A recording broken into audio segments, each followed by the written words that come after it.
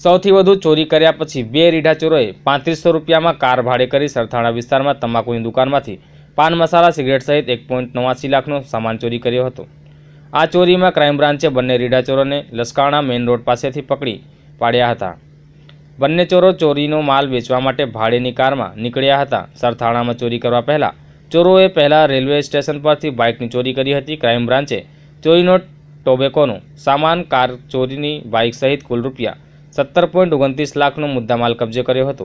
પકડાયેલા ચોરોમાં એકનું નામ વૈભવ ઉમેશ સાંકરિયા, ઉંમર વર્ષ તેત્રીસ રહે શગુન રેસિડેન્સી કામરેજ અને બીજાનું રાહુલ સોમા ઠાકોર, ઉંમર વર્ષ અઠ્ઠાવીસ, રહે લસકાણા ગામ.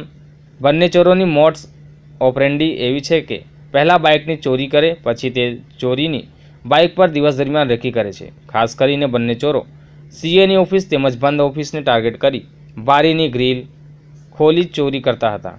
બંને ચોરોએ અત્યાર સુધીમાં સૌથી વધારે ચોરી કરી છે, જેમાંથી અમુક ચોરીમાં તો ફરિયાદ કરવામાં આવી ન હતી. રીઢો ચોર વૈભવ અગાઉ સુરતમાં છ અને વડોદરામાં એક મળી સાત ચોરીમાં પકડાયો હતો. જ્યારે રાહુલ ઠાકોર સુરતમાં સાત ચોરીમાં તેમજ વડોદરા અને સુરતમાં બે વાર પાસમાં જેલમાં ધકેલાયો હતો.